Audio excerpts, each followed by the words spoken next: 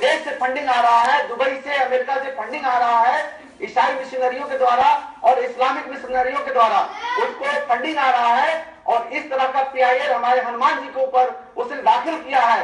अगर उसके अंदर, अगर एक माँ का दूध पिया है तो जा करके जामा मस्जिद के पास अतिक्रमण हो रहा है, वहाँ जाकर के दिखाए। उसके जीप काट दिए जाएँगे, उसके हाथ पैर काट दिए जाएँगे और वह चल करके अपने घर जाने लायक नहीं होगा।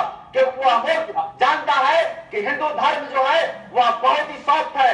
हिंदू धर्म जो है सॉफ्ट टारगेट है। और हिंदू धर्म के ऊपर किसी भी तरह का पीआईएल डाल दो या उसके ऊपर उंगली उठा दो हिंदू के जो हिंदू धर्म के लोग हैं वो शांत हैं मूर्ख हैं और डरपोक हो गए हैं। जी। लेकिन उस मूर्ख को निझावन जो ब्लैक ब्लैकमेलर है जिसने पीआईएल दाखिल किया है मुझे तो उसके धर्म पर भी संदेह लगता है कि वह हिंदू धर्म का है कि है आचार्य शैलेश। करने वाले व्यक्ति के ऊपर आचार्य। शैलेश जी आचार्य शैलेश जी आप